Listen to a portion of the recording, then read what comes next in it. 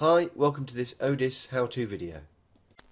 In this short video I'm going to show you how to utilise workshop manuals within a guided fault finding test plan. If you're unsure how to get to this screen, check out the other videos. So here you can see that I'm in the middle of a guided fault finding test plan. This can be identified by the Process tab currently active. The left hand side of the screen also shows each step of the test plan that's been carried out so far. At this stage of the test plan I'd like a bit more vehicle specific information so I'm going to start with these options here. You can see some quite useful connector detail there.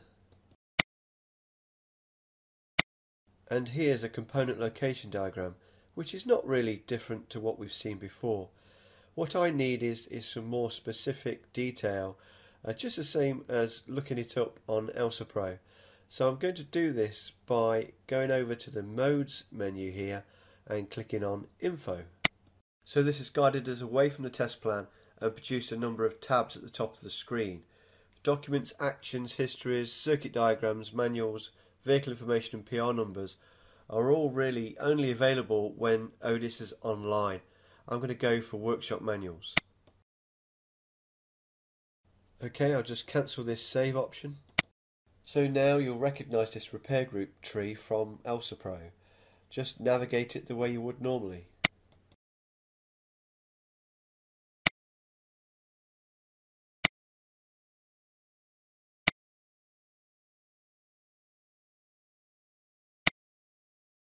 So I've now got typical workshop manual information regards the gearbox in this case. To make the viewing area a little bigger, I've got a couple of options. The first one is this button here, which moves the right hand menu out of the way. I won't click on it now though, because I'm going to use the option next to it, which moves both the right hand and the upper menu out of the way. As with the current ELSA Pro features, we can also hide the left menu by clicking this option here.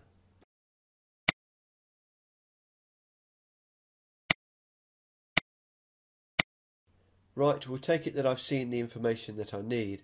So the first thing I need to do is bring the menu bars back. And the final step then is the bit that's easy to forget. Um, it's how to get back to the test plan. We need to look at the mode menu on the right and we'll go back to diagnosis. So I'm back to the test plan. And that's it. If you want to see any more demonstrations, check out the other videos.